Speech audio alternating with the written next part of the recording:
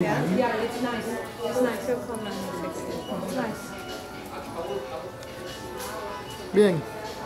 Amigos de Telemicro, estoy aquí, un honor compartir con Pamela Silva, presentadora oficial de Primer Impacto, celebrando 25 años en la República Dominicana. Qué mejor manera, ¿no?, que arrancar aquí en Santo Domingo, estamos muy entusiasmados y, ¿no?, ya listos, listos para esa ruta de impacto que promete estar, la verdad que inolvidable.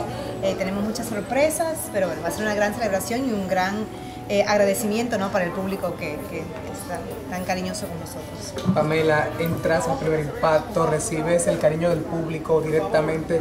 ¿Qué ha significado para ti como profesional, como persona, estos 25 años y ya una gran parte de tu carrera en primer impacto? Sí, ya voy a cumplir 8 años en primer impacto, 16 en Univisión, empecé desde muy chiquitita. No, pero yo creo que para cualquier periodista es un sueño hecho realidad, ¿no? Formar parte de la familia de primer impacto, un programa que se ha mantenido ¿no? tan vigente y tan relevante para nuestra comunidad. Eh, y yo creo que, que, lo mejor está por venir. ¿no? Es, un, es un programa que mantiene la esencia, pero que constantemente está evolucionando. Y la verdad que es, es un honor, es un honor y una gran bendición formar parte de este equipo.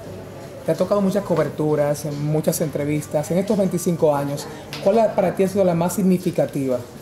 Eh, bueno, yo creo que sin duda el huracán María.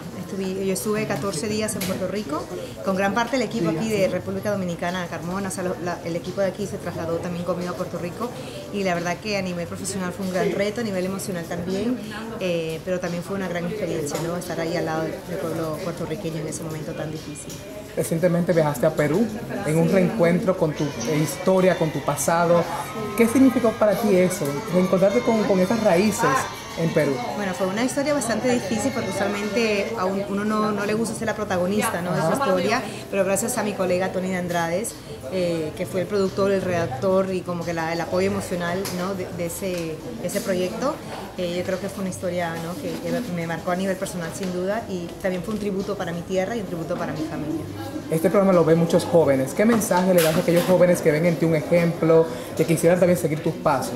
Yo creo que sueñen en grande. Siempre constantemente compartimos por esa misma razón nuestras historias personales para que vean de dónde venimos, dónde vivíamos eh, y que, que, no, que eso, que eso, cuando éramos niños nos permitimos soñar y por eso, gracias a Dios, estamos aquí. Un saludo a todo el público de Telemicro sí. que ve el primer impacto todos los días. Gracias a la audiencia de Telemicro, la, al público de República Dominicana, gracias por el cariño. Eh, todos los días damos las gracias por esa fidelidad y nuestro compromiso con ustedes. Gracias Pamela, gracias. de verdad, un placer.